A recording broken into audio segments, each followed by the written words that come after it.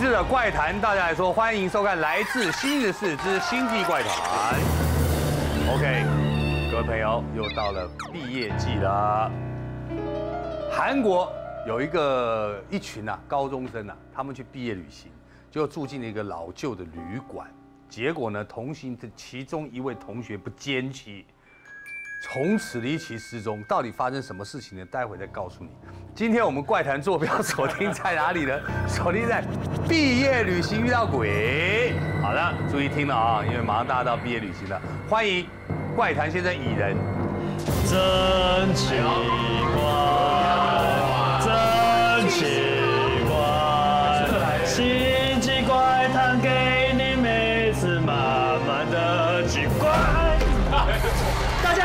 我就是从小偷变大侠的 X Man 蚁人。学生毕业旅行好嗨森，但是一进门就乱撒盐米，不仅没办法驱魔除煞保平安，反而得罪了恶灵猛鬼反扑。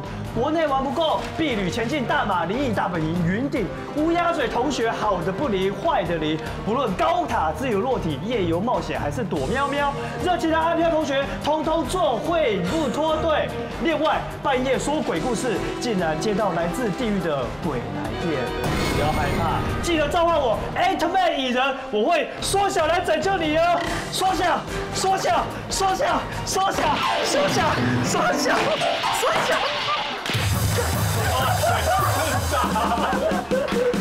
哎你怎么打到我肉上面了？好，谢谢，今天今天表现的非常好，谢谢谢谢，一般。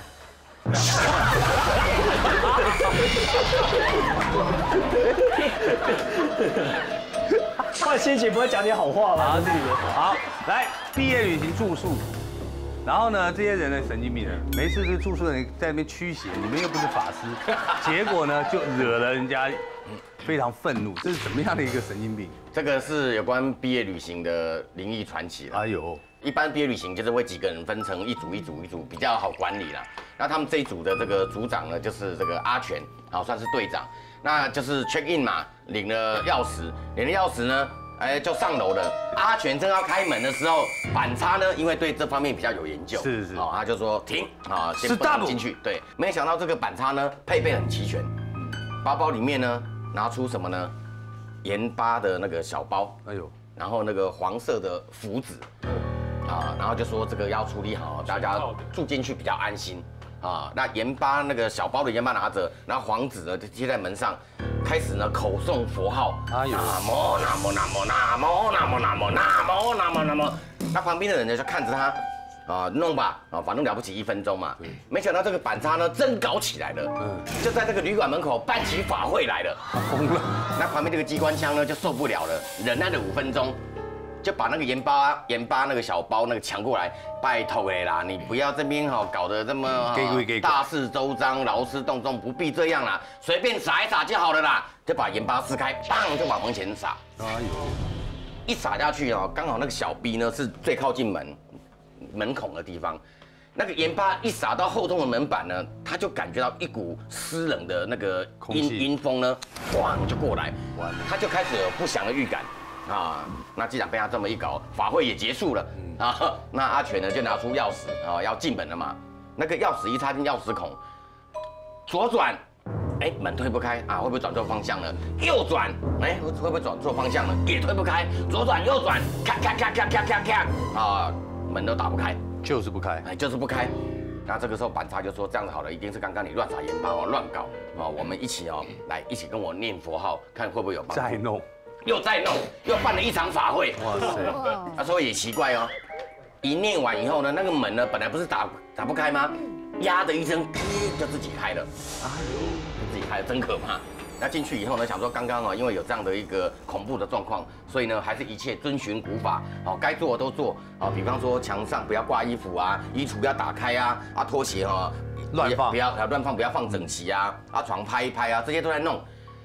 小 B 在做这些事情的时候呢，怎么了？他一直觉得隐隐约约哈，隐隐约约看到一个腐烂的女生的脸啊，可是呢，他想要仔细看，那那张脸就会不见。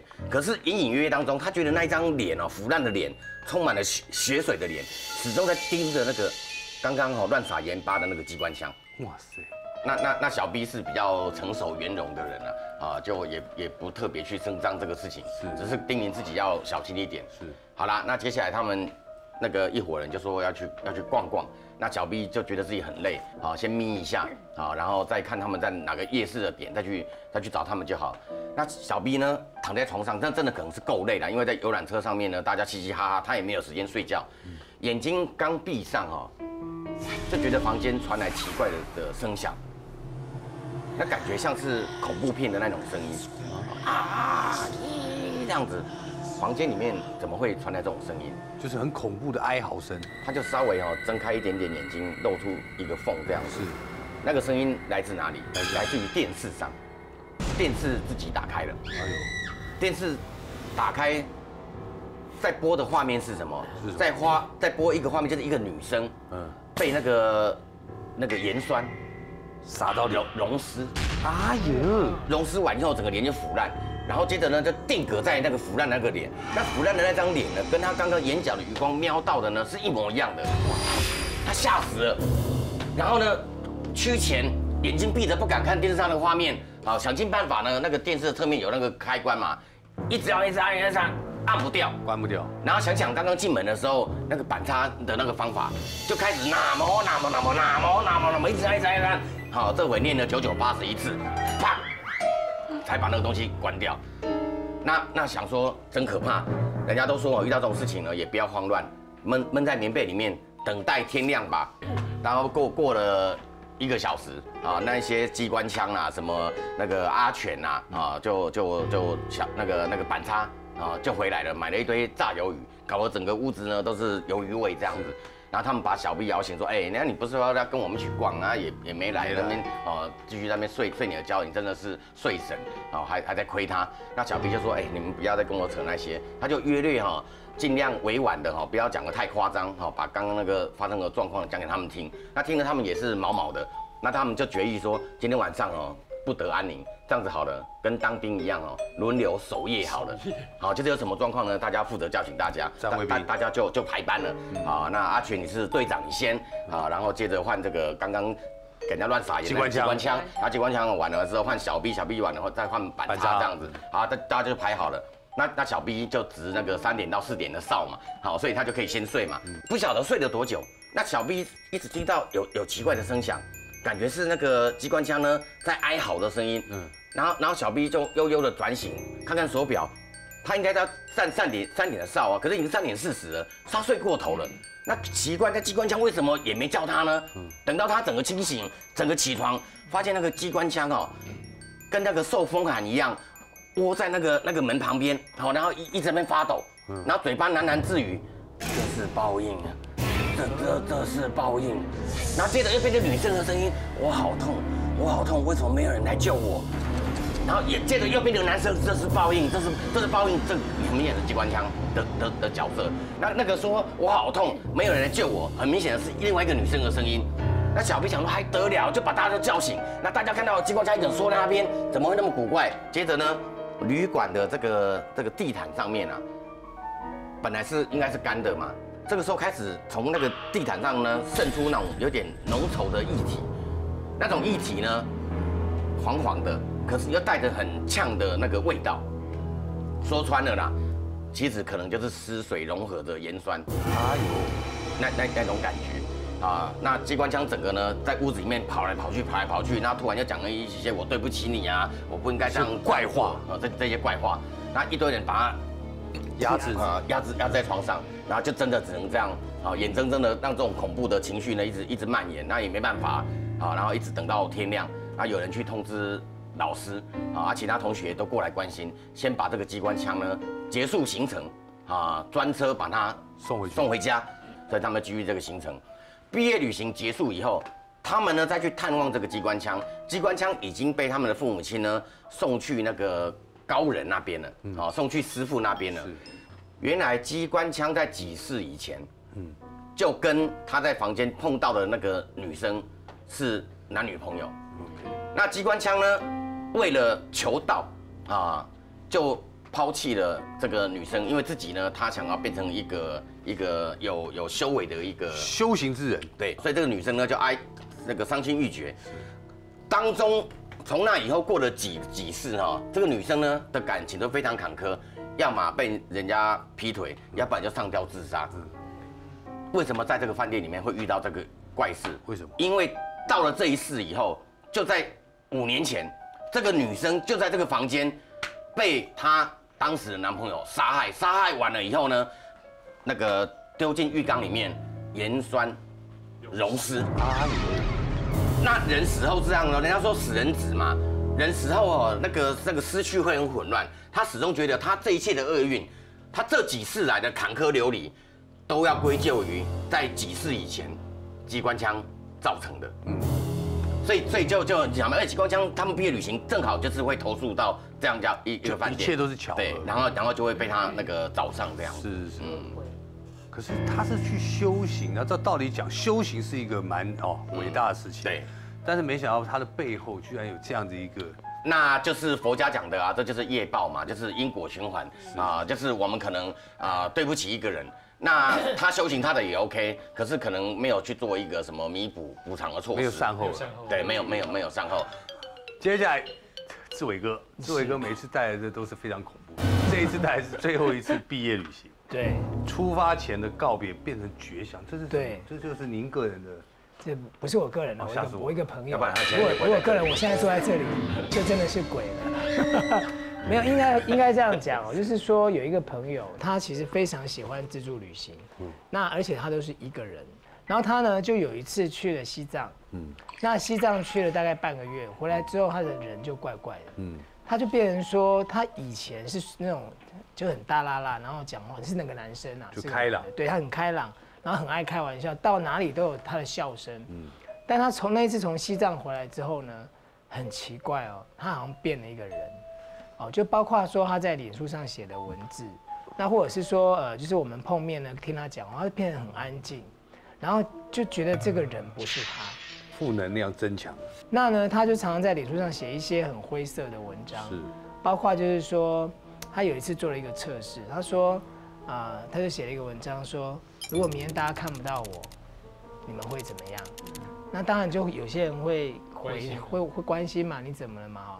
他因为他在晚深夜的时候 PO 的，你知道深夜很多人都睡了，他就自己自问自答哦，在脸书上，就是因为我们早上起来看到那个几百篇的留言，都是他自己自问自答啊，都没有人理我，你们是跑去哪里了？然后就一个一个点名，沈玉玲怎么没留言？杨浩如你怎么没有没留言？然后。我们就在当天早上的时候，就是有朋友打电话给他，他完全不记得他有做这些事情。嗯，然后他看到了这个脸书，他也觉得好奇怪。那直到有一天呢，就大家从西藏回来，差不多两三个月的时间，他就说他又要去旅行了。那这一次是要去美国的大峡谷，哎呦，他到美西去玩。然后他就在脸书上面留言，他说：“啊，我这次要去很久，啊，然后呢，可能。”我们也许不会再见了。突然发出诀别的文章，这位同学真的会在旅途上发生意外吗？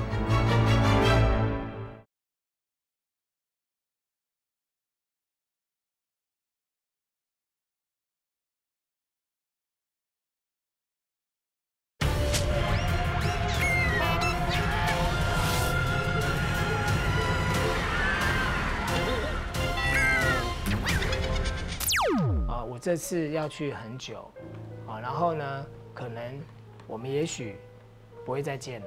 嗯，那如果真的没有再见面了，请你们一定要记得我。嗯，就写这样的文章。那你你看了之后，就好像在在生死遗言，你知道吗？告别，好像在告别。然后大概过了三个礼拜、四个礼拜都没有他的消息，然后脸书上呢就停止在他去美国一个礼拜后，嗯，就没有再留什么照片了。他那时候都有拍照片哦。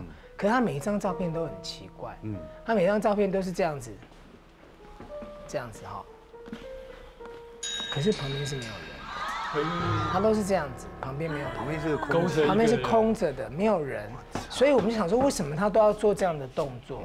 然后在那个脸书上面，你知道那个照片是会让人家很震撼，嗯，不管在什么地方，晚上也好，他坐在椅子上面，他都这样子，一下这一手，一下那一只手。或者是手勾这样子，好像有人在勾他手一样，那我们就觉得好怪哦。但是问他他都不回你哦，那就大概过一个就一个礼拜之后就没有再出现这样的照片，他也没有再留任何的言。那当我们看到终于 Po 文了，是他的弟弟 Po 了，就写说我哥哥在哪一天哪一号，就是哪一天，然后在大峡谷被货车撞死，我们才知道他其实是死掉。那弟弟就写说，因为就是他的告别式是会在中部办，那所以我们就全部去云林了，是他是云林人。那那天去了之后呢，才知道发生的事情是很不可思议的。嗯，他在骑重机，他骑一台重机，然后在大峡谷，那个应该是租的吧。然后在骑的时候呢，就是呃被一台大货车撞死。但是这个大货车司机的供词是让他们觉得很奇怪的。这个大货车司机说，他在开车开车的时候，那个时候大概是傍晚五六点，天色已经暗了。但是其实他有公路的路灯啊，还是有一点路灯，可是有一些昏暗。这个大客车的大货车司机呢，远远就看到有一台重机，那那台重机就越来越往快车道偏，越来越往快车道偏，而且他偏的方式很奇怪。一一般我们骑车就这样骑，这样子骑过去嘛。他说那个车子是整台车横的被拉过去。你可以想象，如果说我是那台车，我一般都这样骑嘛，嗯，这样骑嘛。他是这样子，他看那个驾驶的。那个这个摩托车的那个龙头是完全没有弯的，是直接这样子横着横着，好像是横着跨有东西有一股力量在拉过去或推过去那种感觉。所以这个这个卡车司机呢，看到这个景象就叭一直按那个喇叭嘛，哦，一下子就看到他爸说，哦，这车又开回去了。那他想说那应该没事了，但是下一秒呢，他开过去了嘛，嘣，这个车子明明他看到他是已经在右边了。他他要开过去的时候，突然这个车子瞬间出现在他前面，整个重机就被他压过去。那我们这个朋友就当场死亡。然后这个司机说，在要撞击的那一刻，他看到这个重机后面不是只有一个人，他是两个人，他以为他撞到了两个。等于他是他载着一个人，他载着一个人，而且那个人的坐姿很奇怪。那个人坐一般我们都是这样子坐的嘛，那个人是倒倒过来的，所以他是看到那个人的脸。因为他撞到之后，当然就停下来了。对。可是你知道找不到第二个人的尸体，但是这个司机说他看到是两个人。嗯。但是看行车记录器的时候就掉轨了。嗯。当这个行车记录器在按开始要看这些，他他是被警方扣住要看的时候，包括两个警察，包括他们三个家属跟这个司机都看到了一团光影，然后那团光影出现的样子呢是。的确看起来是，就是一个人人影，然后他是跨坐在机车上面，然后是对着是对着卡车司机。恐怖的是他的他是这样子的，你知道吗？这里是轮胎，嗯，他是用他的手抓着轮胎的，然后然后操纵那个。感觉上是这样子，你那个光影看起来是这样，然后他们看到都吓一跳，然后吓一跳的时候就是倒转要再看嘛，就没有了，就只看到一次。所以他们都觉得很奇怪，可是对这个家属来讲，反正我还是要告你嘛。那他们在美国就要找律师，可是就觉得，一方面觉得说很麻烦，二方面是因为有一天，就是说他他们就要整理哥哥的遗物。嗯。然后因为我这个朋友有写日记的习惯，然后他就说他日记里面写了一个很恐怖的事情，就说他到西藏去的时候，然后在那边就。遇到了一个女生，嗯然后他就跟那个女生就是交往，就就就感觉上像是一个在异国邂逅这样。那那个女生是一个印度尼泊尔，对不起，尼泊尔人。尼泊尔啊，他遇到一个尼泊尔的女孩，然后呢，但是在那个西，在他要离开西藏前两天，那个女生就是坠楼死亡，在家里面不知道为什么坠楼死亡了。然后我这个朋友就很伤心嘛。那很伤心，之后他当然就回来了，最后还是回来了。然后他就写说，他一直觉得这个女的是跟他在一在一起回来的，跟他回来的。然后也不知道为什么，他就是觉得快乐不起来。那当然，FB 才会那么沮丧。对对对对，都写一些很灰色的事情。他还讲说，今天他到我梦里来了，然后一直叫我去找他。然后第二天写说，他告诉我说，他现他想要去哪个地方玩。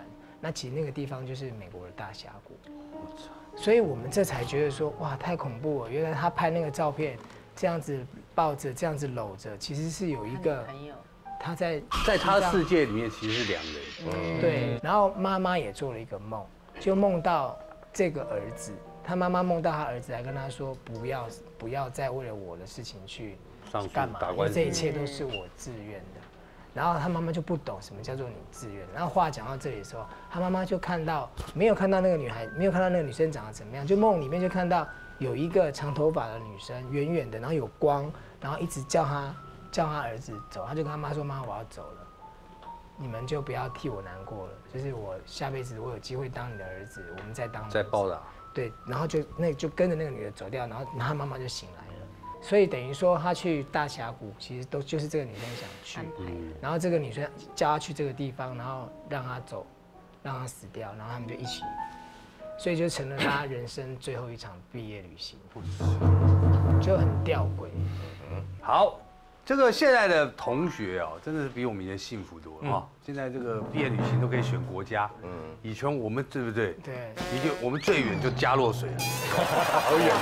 我们最远了哇！我们那时候嘉义，我们毕业旅行就是来台北。然后把我们送到那个环，那是皇家百货。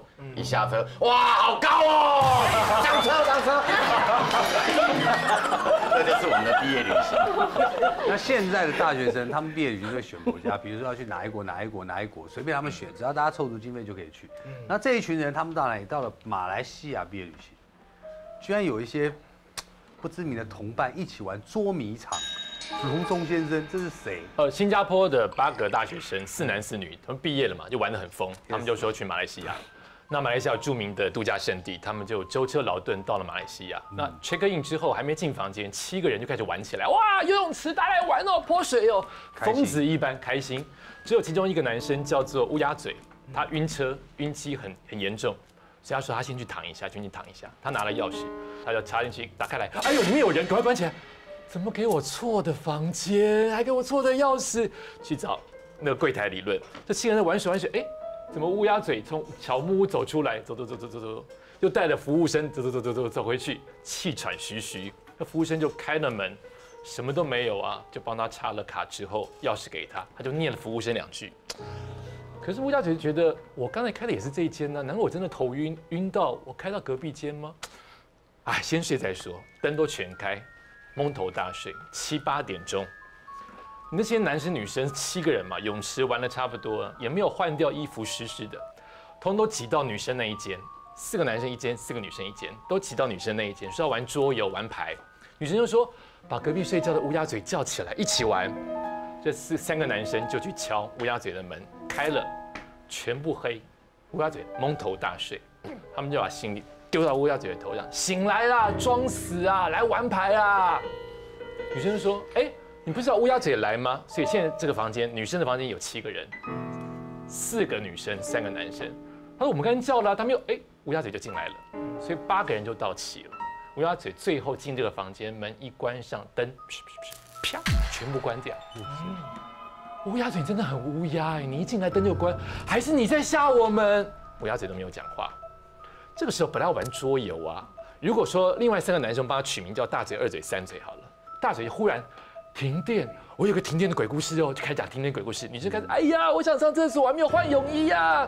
二姐又讲了一个停电的鬼故事，哎呀，好恐怖啊。三姐也讲了停停停电的鬼故事，换乌鸦嘴要讲了，乌鸦嘴就想了一下，你们有没有想过，也许我们这八个人有人不是人？我操！旁边的女生说：“你在讲什么啦？”乌鸦嘴说有合理呀。我们今天不是在车站碰面吗？也许大嘴你在家里就往生啦，你还是来赴约啊。也许二嘴你本身刚才游泳的时候已经淹死了，但是你现在还是来玩桌游啊。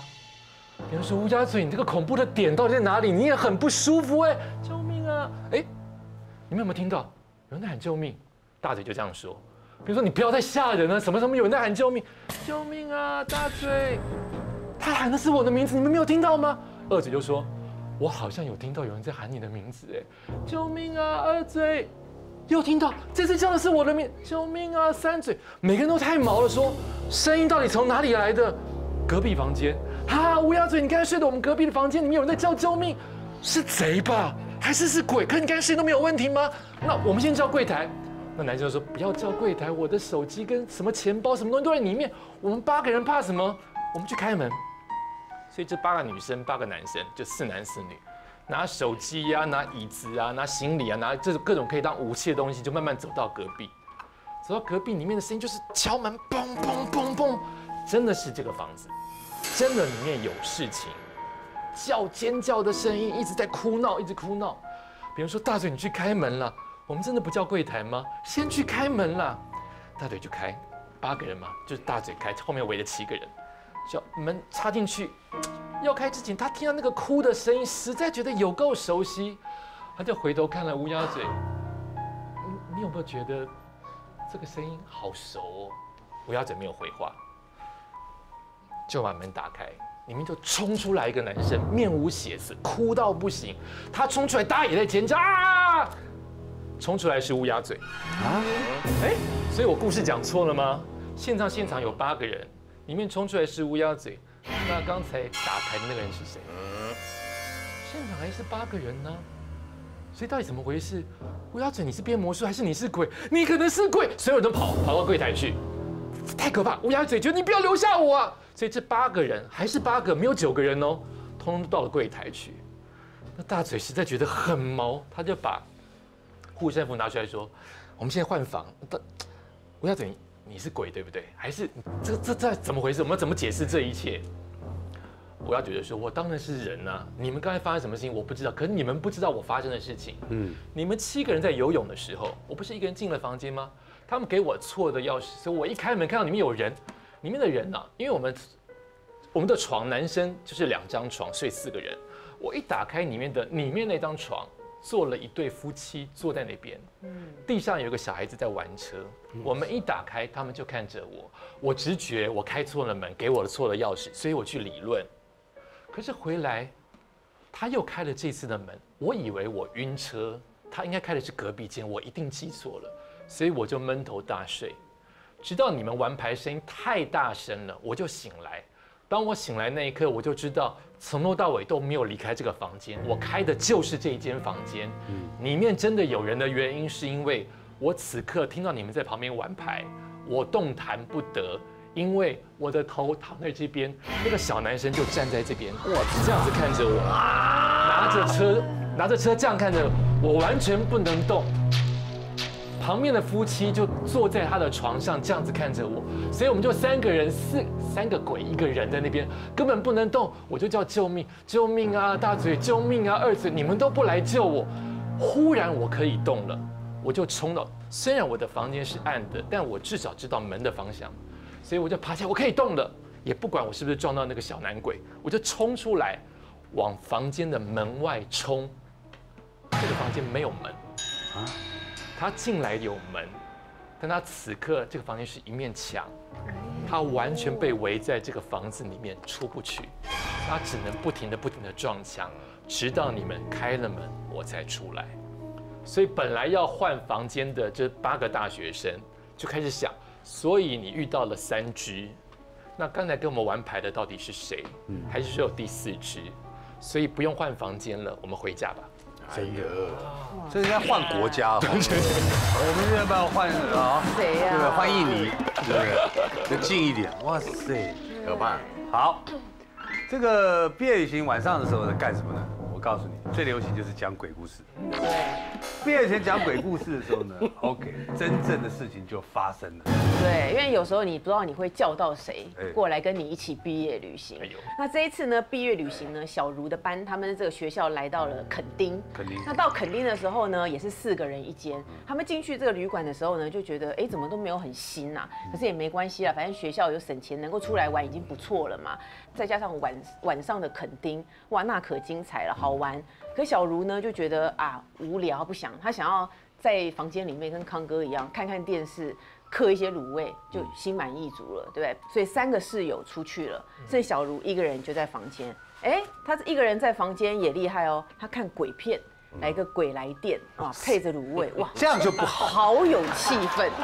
然后吃一吃以后呢，哎，接到这个领队小白打来电话，哎，小茹你怎么没出去啊？啊，我不想出去，我很累啦。领队就说啊，好了好了，那你休息。哎，再来吃一吃吃一吃，电话又响了。那小茹看了一下，这次是手机，那手机呢没有显示号码。嗯嗯。那小茹心里就想说，该不会是家里打来问我现在在干嘛，想要看我们在外面有没有乱搞吧？不想接，让他想了一阵子，正要接的时候，哎，手机断掉了。嗯。他说，哎，没接到，那也好，少少一件事。正放下的时候呢，手机又响了，接起来听，哎呦，一些喘气的声音。哎，你是谁啊？你是谁啊？呢，也没讲话。那小茹也没多想，就把手机挂掉了，想说搜讯不良，搜讯不好。那正在纳闷的时候，其实他三个室友也逛街回来了。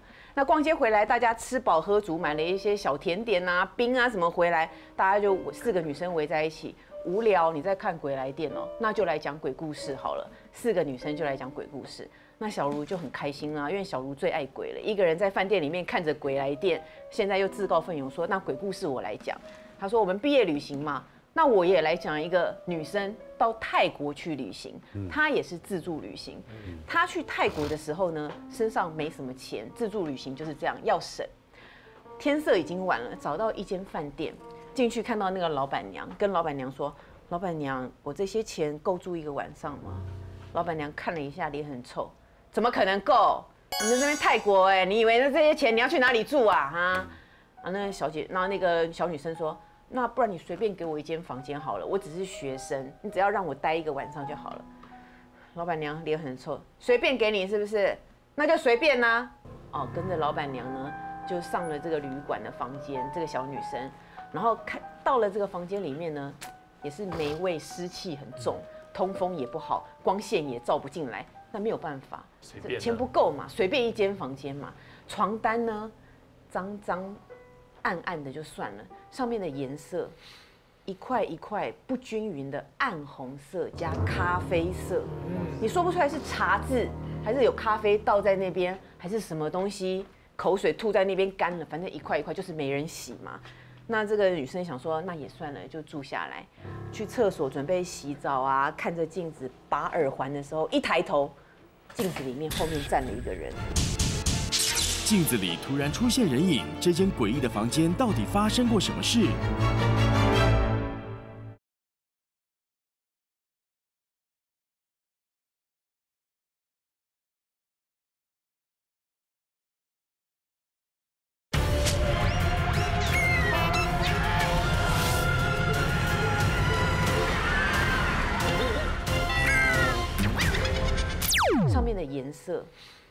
块一块不均匀的暗红色加咖啡色，你说不出来是茶渍还是有咖啡倒在那边，还是什么东西口水吐在那边干了，反正一块一块就是没人洗嘛。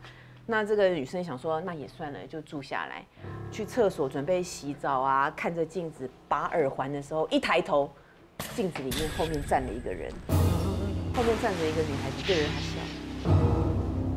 就很明显的是一个泰国女孩子穿着传统服装的样子，看着她，那这个小女生当然是马上就尖叫啊啊！一个人住的房间，冲到门口准备开门出去，啊，开的时候奇怪，门当然是一直卡住，开不了。这时候她就听到后面这个泰国女生，嗯啊，在她后面就一直尖叫，叫她整个耳朵头头痛受不了，晕倒过去。再醒来的时候呢，这个小女生是躺在自己的房间，没错，但是四只手呢被绑起来，然后动弹不得，被绑住，躺在这床上，然后她看着天花板，想说：我怎么会在我房间被绑起来呢？这时候呢，她旁边就走过来这个穿泰国服装的这个女生，手上拿着一把刀，看着她，就开始朝她的肚子切下去，哎呦，就开始切，一直切，嗯。切到他的这个整个肠子，血全部都流出来，流到床单上，跟床单的颜色融为一体。原来床单的颜色其实就是血干了的颜色。那讲到这边的时候呢，小茹讲到这边，那其他的女生都很害怕啊，想说那好啦好啦，就这样子嘛，那应该是挂了吧，这个女生应该是死掉了吧。嗯，然后小茹就说。对啦，他是死掉了，他是已经已经身亡了。但是奇怪的是，旅馆发现请警察来相验的时候，其实呢，他是拿刀自己剖自己的肚子，哎呦，把自己的肚子切开，是自杀死亡的。那四个小女生讲到这这边，没讲什么话，收拾一下心情。哎，突然这个饭店的电话又响了，然后小茹把它接起来，喂，电话那边说，我死了吗？我还活着哎，你们活得了吗？小茹听到以后挂到电话，马上大叫，一大叫之后，房间又响起了一阵音乐，噔噔噔噔噔噔噔噔，手机的铃声。鬼来电的声。音，问题是这四个小女生没有一个人的手机在响，全部的人听到这个音乐停了两秒之后，哇，然后尖叫冲出去，这四个小女生冲到门外，一冲到门外，看见了一个穿到泰泰国服装的女生站在门口，也是看着他们。哇！四个小女生赶快跑到隔壁，一直敲，一直敲，一直敲，因为隔壁是男同学的房间，就一直敲，一直敲，一直敲。好不容易男同学开门了，让他们进去。这四个小女生呢，就住男同学的房间，待了一夜也不敢睡。隔天出来了，回自己的房间看一看，里面呢本来行李大家排的好好的，鞋子排的好好的，现在呢被弄得乱七八糟，鞋子整个被丢啊，行李整个被翻出来啊。然后他们就看到这个景象，也不敢多说什么，赶快收一收，赶快退房，至少人是平安的。对了，这个这个这个这个，我们常常讲，其实你讲这种这一类的故事，你真的不知道会会会不会招会谁会谁，对对不对？接下来讲这个越来越恐怖了，就像刚刚玉林哥讲，毕业旅行晚上呢，大家不是讲鬼故事呢，就是夜游，但是最恐怖而且最神经是干什么呢？玩碟仙，是不是？这桩事情也有上过社会新闻。哎呦，那个学校呢，他们就是花东三日游，啊，然后先到花莲。刚刚有讲过，毕业旅行一般饭店都不能住太好了，因为就是要便宜。大概三级、二级，那个饭店呢就已经客满了啦，对。所以他们这个学校呢在分配房间的时候有一点麻烦，就是就是那个那个这一班啊四十个人，那也只能够就四人住一间，四人住一间啊，那是但是这个这样子会有会有三个人哈，会有三个人他多出来的。啊多出来的，那饭店只好加开房间。他们有一个房间呢是比较废弃一段时间的啦，就是没有在租人的啦，没有在使用了，没有办法嘛，那既然你们多多一个人，多三个人出来，还是就为你们开放吧。只是说，因为比较久没人在住，比较稍微有点老旧一点啊，要多担待一点。好啦，那对于学校来讲，那谁要被分配到那一间啊？对啊啊，所以就抽签嘛。然后抽我抽的呢，正好他们班有三个人啊，在班上是惹人厌的那一种，没人缘的啦。这三个人就被分配到三一零号房，其他人就是从三零一一直到三零九嘛，啊，他们的房间就在三一零这样子。故事呢，就从他们入住房间开始啦。啊，这个阿国呢，啊，跟这个另外几个啊三个同学，啊，他们是在班上算是比较正常的那一种了。是他进了房间以后呢，就觉得这个房间呢，透露着一种诡异的气息。嗯，那房间呢还算高级哦，那墙上挂了一些那种仿世界名画的这个画作，很多饭店喜欢这样子嘛，是啊，就是模仿一些世界知名的画作，你会看到蒙娜丽莎的微笑啊，你也会看到什么十岁啊什么这一种的。刻板。那这个阿国对画是相当有兴趣的，也有艺术天分，模仿的是还不错。可是他觉得画里面有玄机，哎呦倒不是画本身啊隐藏什么样的线索，是而是他觉得画后面一定有什么古怪，他就把一幅画拿拿拿拿下来，拿下来，转过来看，画后面贴了一张符，画后面贴符，该不会每一幅画都有吧？他就通知室友，室友说真的假的？打开打开打开打开，都有符。嗯，赶忙到隔壁房间去告诉大家，你们房间有没有符啊？他们也看，哦，画后面也是有符，然后有的是那个床头啊，床头靠墙的那个里侧啊，也也有符。然后呢，隔壁房间隔壁房间也都有这样一个状况。他们想说这个还得了，这个要不要通知老师啊？这个地方不能住人啊。可是不能住人怎么办？那个你那个现在这毕毕毕业旅行的旺季啊，也不可能换饭店嘛。啊，那说也奇怪，大家这边议论纷纷的时候呢，就是没有看到那三个哈讨厌鬼三人组，嗯，啊，就是住在三一零号房那三个人，正在讲的时候呢，就看到一个黑影跑过去，啊，讨厌三人组其中一个叫俊安的，那后面呢一个人在追他，讨厌三人组之二，一个叫显金的，啊，险金在追那个俊安，叫大家说，哎，抓住他，抓住他，他一听吓我啦。那大伙人呢一涌而上，压住他，压不住哎，那几个压住他的都还是那个那个打篮球的，压不住一个瘦小的俊安，那俊安把他们弹开，哦，那大家想还得了，更多人就一涌而上把他抓住，然后问那个险境怎么一回事，你你们现在在在在在搞什么？险金说拜托拜托，你们陪陪我们一起回房间好不好？他说啊，他们三个人啊在房间里面玩碟仙啊，那个碟仙都还没有归位哦。这个俊安哦就不玩了，人就跑了。嗯，好，那俊安为什么不玩？他说俊安呢就是踢笑啊，不晓得中了什么邪。一一一伙人哈，就是有点害怕，但是呢又觉得说同学还是要帮忙嘛，就说好，那我们我们陪你回三一零号房看看好了。那个三三一零号房呢，隐身在一个安全门的后面，那有房间还藏在安全门后面的，就古怪嘛。那那不管了，就推开安全门，然后进了三一零号房。里面呢，那个一个叫老鼠的，就是三人组的喵气，喵气，喵气已经已经坐在床床床底下，然后在在发抖，发抖。然后旁边一个桌子，啊，果然有没有请归请归位的碟仙，哎，没有请归位的碟仙。那大家七嘴八舌说你们怎么搞？怎么玩碟仙玩到没归位啊？他们说啊，他们在玩碟仙玩玩玩玩啊，然后呢，就说就说你是那个玩碟仙最忌讳什么？就问问人家。那个你怎么怎么死啊？结果呢，他们就是问问说问问先问人家是什么性别啊女生，然后接着这个刚刚那个发狂中邪那个俊安还接着问说那你怎么死的？那走走走走走走就走到一个沙，一走到沙的时候呢，这个俊安就整个大抓狂。触犯碟仙最忌讳的问题，同学就突然抓狂，惊悚局面该如何收拾呢？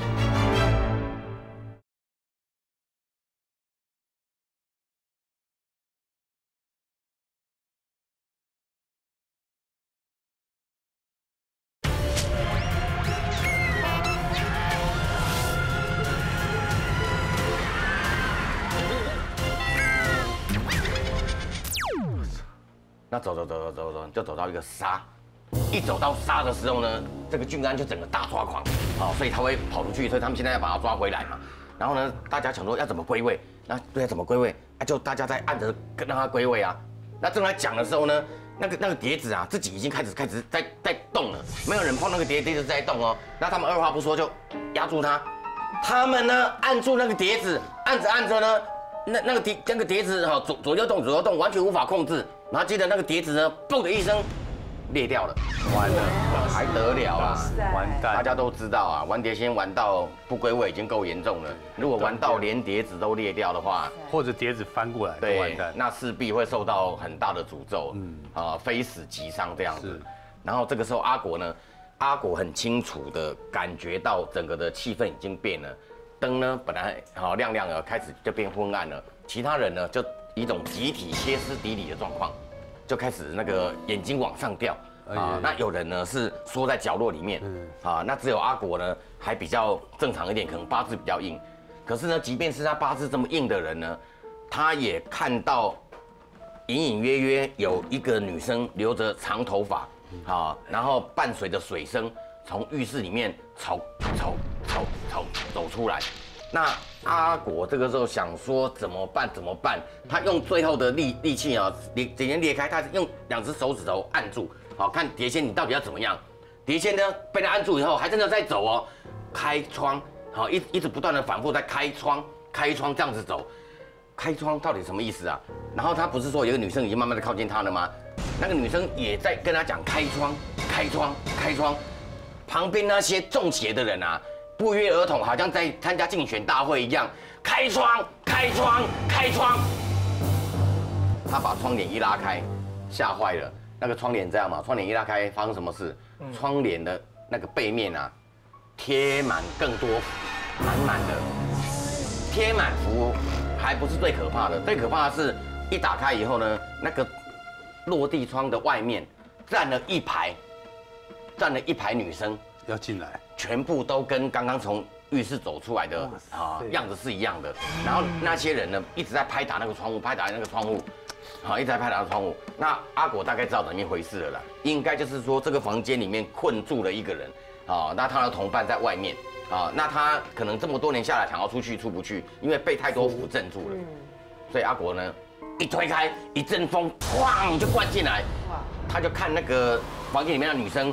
仿佛是被那个吊钢丝一样，咻就就拉出去了。啊，一一拉去出去以后呢，然后外面的那些那个女生呢，哎，也就全部都都都退掉了。就就是你讲的要把她接走。对，要要要要把她接走。后来啊，他们辗转得知啊，这个房间里面呢，啊，在很多年前发生过一件惨案啊，五个女生啊同住在这个房间里面，然后被两个变态男生闯进房间里面。那当中有四个，啊，可能因为什么样的状况就就可以可以离开这个房间，剩下这一个，好，剩下这个还来不及逃脱的时候呢，就被店方啊、饭店的业者啊，用重重的这个符咒呢，给那个困住困在里面了。嗯，这个常常我们看到那个毕业行的，永远会发生一件事情，就是乐极生悲。嗯，所以在玩的时候呢，还是要注意安全，然后不要玩那些太怪异的事情，让毕业旅行成为一个美好的回忆。今天谢谢大家。